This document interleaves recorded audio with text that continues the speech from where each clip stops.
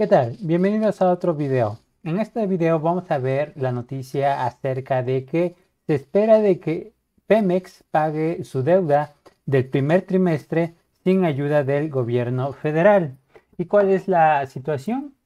La Secretaría de Hacienda de México espera que Petróleos Mexicanos pague la deuda que vence en el primer trimestre sin ayuda del gobierno.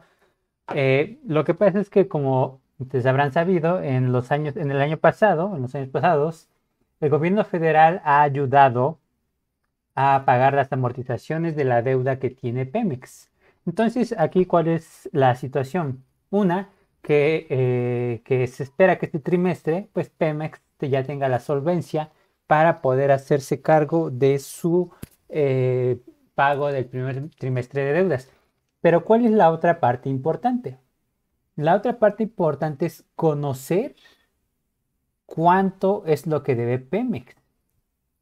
Eh, vamos a leer esta parte de acá. Eh, después, de brindar después de brindar apoyo financiero a la petrolera en los últimos años, la Secretaría de Hacienda ahora quiere que Pemex pague la cuenta a menos que no tenga suficiente efectivo para hacerlo al final del trimestre. Es decir, al final de este trimestre eh, sabremos si Pemex se hizo cargo de su, del pago de sus amortizaciones o necesitó ayuda por parte del gobierno federal.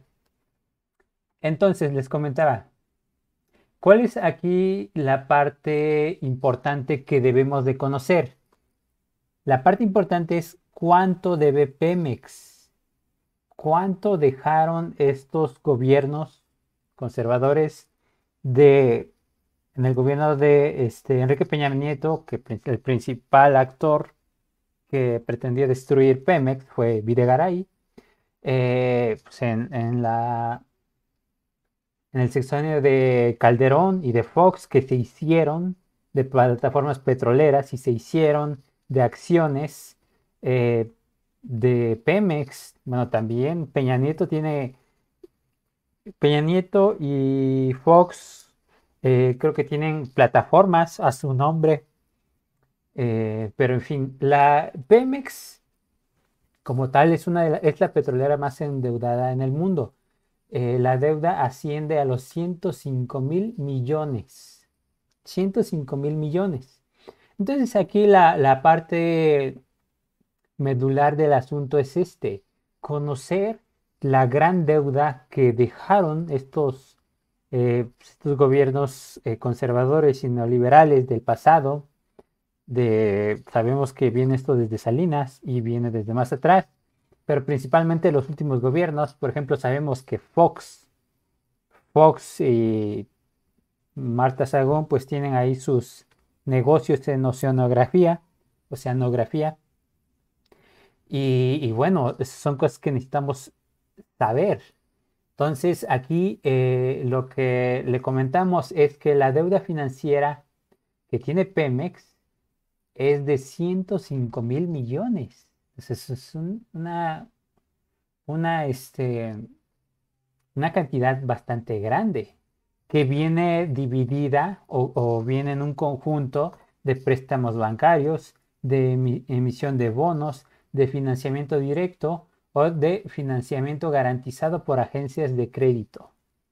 Entonces aquí la parte importante es que eh, que se rescate a Pemex a como de lugar, porque también otra parte importante que todos debemos saber y entender una y otra vez es que si sube el petróleo, si sube este, el precio de las gasolinas, sube todo. Entonces, eh, nuestro, nuestra moneda va mucho eh, nuestra moneda a nivel mundial es flotante, es un término que se utiliza en el mercado financiero, pero nuestra moneda se, comporta pegado a, también al precio de nuestras gasolinas. Entonces es importante que Pemex siga produciendo como lo ha hecho hasta el día de hoy y que va a producir más con la refinería de Dos Bocas y con las nuevas dos coquizadoras eh, con esto se prevé que Pemex incremente su producción. En otro video anterior ya, ya vimos que, que Pemex tiene una proyección de de un plan de cinco años para poder, poder producir más de 2.000 de 2.000 millones de barriles diarios.